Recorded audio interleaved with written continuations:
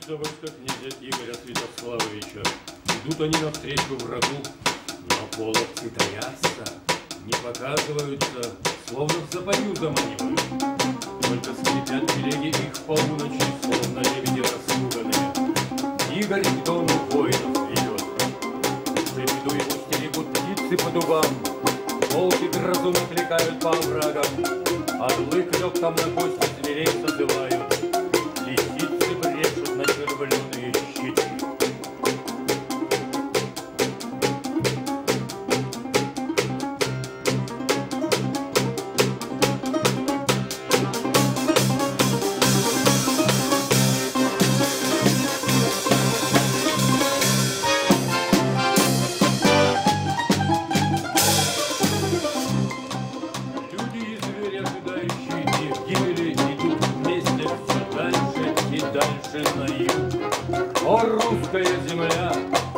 ты уже и скрылась за холмом.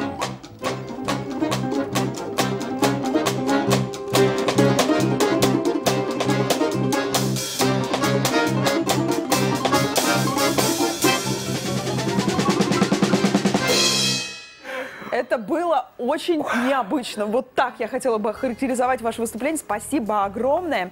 У нас сегодня в гостях группа «Изумруд». 17 марта в Музее истории Екатеринбурга музыканты представят литературно-музыкальный проект «Баллада о князе Игоре». Что это такое? Мы уже с вами буквально чуть-чуть смогли погрузиться И в услышать. атмосферу. Да, и услышать. Но у нас будет возможность задать еще все самые важные вопросы. Куда идти, как идти, что запланировано. Участники группы «Изумруд» Константин Прокошин и Евгений Ханчин нам расскажут сегодня подробности. Так, Кого давай- и что вдохновило вообще а, на именно на создание этого проекта, чтобы вот так вот окунуться в историю Руси? Ну, в первую очередь, сам памятник литературный Древней Руси, слово полку Игореве, его события, уроки, которые можно извлечь из этого. Музыка также Александра Порфирьевича Бородина, который обратился тоже к этому сюжету, написал оперу. Вот Евгений Ханчин использовал пару тем в этом произведении, но основная музыка, конечно, его, авторская.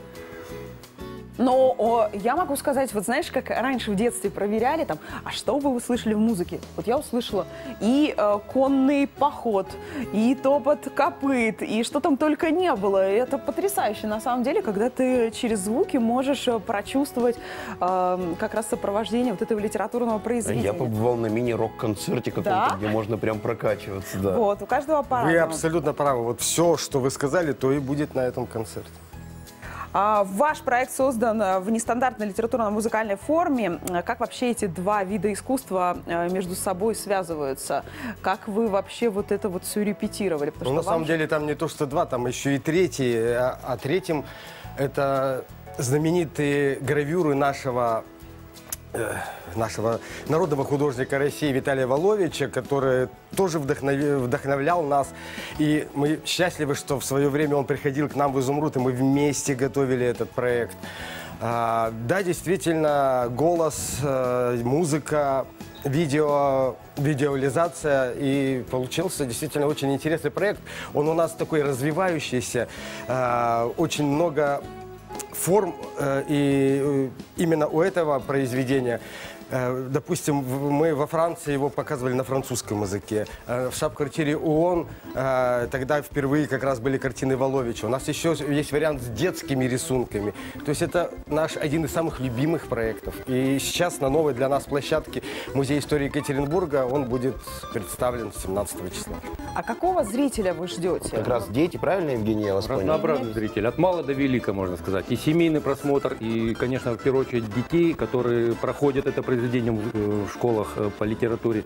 Им Ну тоже было бы и взрослые, конечно, так как у нас действительно э, элементы рок-музыки, безусловно, тут присутствуют. Ну давайте примерно хотя бы возрастные рамки ограничим. Сколько-то? От Шесть? 6 От шести? до 89. Вот вас разбросало. Это как вас разбросало с гастролями по миру. Так же и здесь. То есть совершенно от мала до велика. Да-да-да. А есть ли какая-то вот, это модно сейчас ведь абсолютно везде, всегда и всюду, а вы всегда в ногу со временем идете, какая-то некая интерактивная часть, а, где люди смогут как-то поучаствовать. То есть, ну, я вот смог поучаствовать для себя в силу своей наглости. Немного подвигаться и потанцевать. Ну, я думаю, площадка музея даст возможность как раз... А, ну, еще в чем, э, в чем особенность именно этого концерта? То есть те зрители, которые придут на наш концерт, они смогут перед этим, а может быть еще и после, посмотреть э, Картины. экспозиции, да, экспозиции э, музея. Ну, мы всегда, всегда может быть, по окончании, ну, в самом, конечно, само у нас повествование, оно идет без, наверное, предполагает какого-то такого участия, но до и после всегда с удовольствием. Спасибо огромное, что делаете такие необычные проекты. Меня, если честно, вдохновило, поразило. Я ничего подобного раньше никогда не слышала. Да Поэтому- Еще что, Ксения? Ну. Расскажите, у вас же еще какие-то проекты готовятся уже, я знаю. Да, безусловно, вот уже 7 апреля э, на сцене Свердловского академического театра музыкальной комедии э, будет гала-концерт фестиваля «Изумрудный город». Э, программа «Урал. Пульс земли» полностью, тоже наша авторская музыка, посвящена нашему родному краю. Урал, к тому же 300, 300 лет Екатеринбургу. Вся история от шигирского идола до наших дней э, в музыке группы «Изумруд» и гостей, замечательных участников. И там уже будет и балет Смирнова, эксцентрик балет, наш замечательный а, музыканты из Уфы, музыканты из Екатеринбурга, играющие на старинных инструментах. То есть это очень такой тоже важный, интересный, мощный проект. Если захотите поменять название с пульса земли на пуп земли, то забирайте. А многие так и называют. Ну, в принципе, это тоже правда. Это То все абсолютная правда. И то, что вы Екатеринбург у нас, талантливейшие это же пуп земли. это стопроцентно.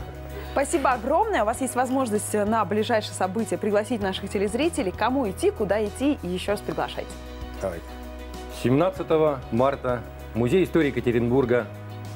При- приглашаем на слово полку Игореве нашей интерпретации. Музыкальная группа «Изумруд» приглашает вас, и были сегодня они у нас в гостях. Есть что добавить?